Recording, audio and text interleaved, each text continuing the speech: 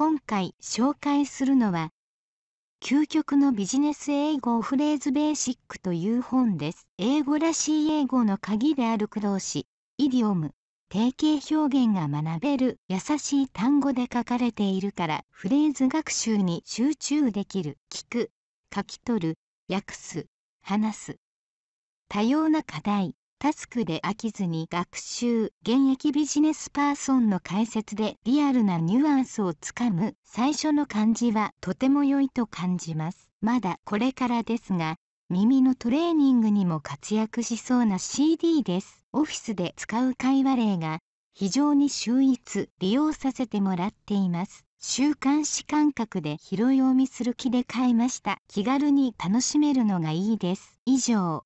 興味のある方は実際の商品を Amazon などでご確認ください。今回は最後までお付き合いありがとうございました。よかったらチャンネル登録をお願いいたします。